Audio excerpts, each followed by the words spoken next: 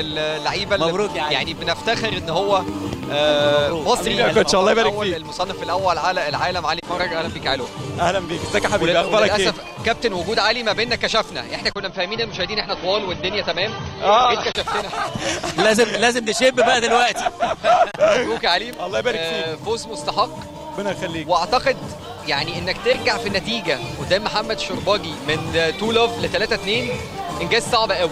قوي. بصراحة محمد آه، أنا متأكد كابتن أشرف اتكلم يعني أنا مش عارف أتكلم بعد كابتن أشرف. كابتن أشرف هو اللي مربيني وهو اللي معلمني كل خلي بالك وقت الجيم عمال يقول لي أنا اللي معلمه اللوب ده ودي أنا اللي حقيقة. معلمه. والله ده العظيم دي حقيقة. دي حقيقة. أنا اتفرجت على 12 كام سنة في حياتي سنين.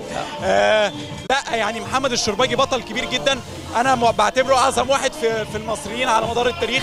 فإن أنا أقدر أشارك معاه مسرح كبير زي ده وكمان أتغلب عليه بعد 2-0 تحت لا حاجة بالنسبة لي فخر كبير جدا الحمد لله. فكرت في إيه والنتيجة 2 لوف؟ هل كان عندك بص. يعني كان لسه عندك إيمان جواك إن أنا لا ممكن أرجع في النتيجه ولا الدنيا وقعت شوية جواك؟ صراع صراع تاكتكس هو محمد بدأ مبطئ اللعب جدا وأنا عايز ألعب بسرعة من كتر ما هو كورته مظبوطة مش عارف أعمل كده فكنت عمال أقول لنفسي علي مش مهم النتيجة حاول تطبق طريقة لعبك. ولو عرفت تعملها يمكن باللياقة البدنية أقدر أتغلب عليه والحمد لله ربنا وفق في بداية كل game يعني خدت بالك يا علي إن في نهاية ال game الثاني كان في كرة double pick up عليك قدام والحكم عمل عليها review وإن الكرة دي بالذات إدت شوية نفس كان 9 8 طبعاً. وإدت شوية نفس لمحمد ويمكن لو ما كانش عمل عليها review كان يمكن تكسب ال game الثاني ممكن جدا طبعا بس أنا برضو في الوقت ده الواحد مشدود نفسي إن الكرة تطلع صح. أنا مش عارف هي صح ولا غلط. فقلت لهم طب check يمكن كان قرار غلط مني بس. انت أنت بتقول على ال double بس أنت كنت شاكك فيها. بالظبط. وحتى بصيت لبره وقالوا لك double. ما خدتش بالك وقلت أعمل check بس قلت ما أعرفش الواحد هو هو بيبقى طمعان فيها. طمعان فيها بالظبط. لكن لو أنت سبتها كان ممكن جدا تكسب ال game الثاني. وفي الوقت ده أنا كنت بعتقد إنك كنت هتكسب 3 1 يعني بيتهيألي كده بس طبعا الحمد لله ان أنا حتى بعد ما خسرت 2-0 قدرت ارجع. الحمد لله هتلاقي ال game يا علي دايما. أنا والكابتن بناخد بالنا أنت بتبص لكريم درويش عشان تسأله إذا كان ال- الكورة دي تطلب فيها review ولا لأ. الكلام ده بيحصل ولا لأ؟ لا مش هطلب فيها review ولا لأ بس أنا ببص لكريم درويش اخد منه طبعا طبعا. لكن في قصة ال review لا ال review لا لا لا لا, لا. بحاول أخليها من نفسي عشان الواحد بيبقى حاسس بالملعب أكتر من أي حد بره يعني. كويس.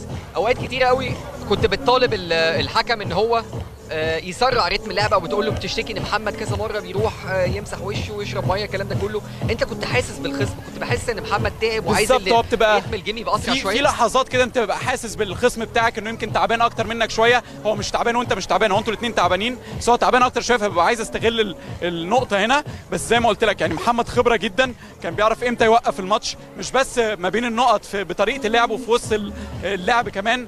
بصراحة لعيب خبرة كبيرة جدا وزي ما قلت في في الملعب يعني أنا بتعلم منه كل يوم فعلا يعني. فوزك على آه، محمد في بطولة العالم وطبعا كان الشوط الثاني أعتقد أو الثالث كان محمد متقدم في نتيجة سبعة لا شيء. بالظبط. فكرت في ده وقت ال... وأنت جوه الملعب؟ النهاردة؟ يعني آه. لا بص. يعني قلت طب ما أنا قبل كده كنت متأخر في نتيجة 7 0 وقدرت إن. أنا أعمل كامباك وأرجع تاني ولا لأ؟ بت...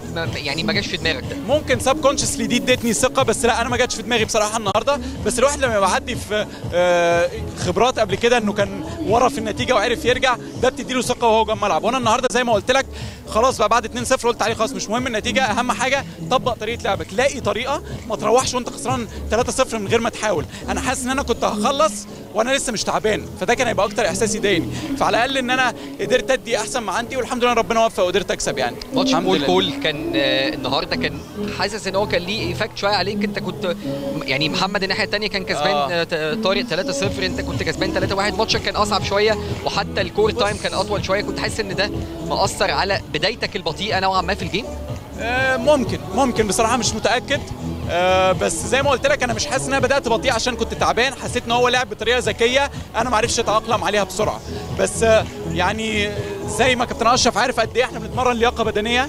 فده خلاني أقدر أبقى واقف على رجلي. وماتش إمبارح ما يأثرش على ماتش النهارده الحمد لله يعني. طب بالنسبة يا علي لل game الثالث نص ال game الثالث محمد حسيت إنه فصل. وحتى آخر ال game الثالث ساب الكورة ونزل 3 4 down عشان يخلص. وقال للحكم أنا عاوز ال physio في الدقيقتين بتوعي.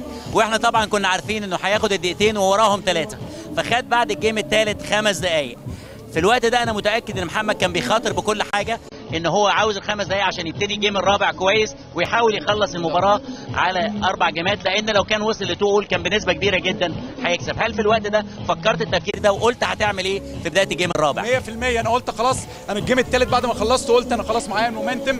أنا محمد تعبان وأنا هستغل ده في ال game الرابع. لما لقيته خد كده قلت إحنا هنبني من أول وجديد تاني هنرجع تاني ما تستعجلش. فكرت في إيه بقى بالظبط في الوقت ده؟ فكرت إن أنا علي ما تستعجلش إنك تلعب قدام العب ورا تاني ابني ال- الأساس صح الأول خلي محمد يتحرك كتير عشان تتعبه من أول وجديد. لو كنت حسيت إن هو تعبان من الثالث وخطفت بسرعة هو كان هي... عشان هو بيخاطر أكتر مني كان هيستعجل أكيد مظبوط. آه. خليني أسألك آخر حاجة سؤال مهم جدا. آه.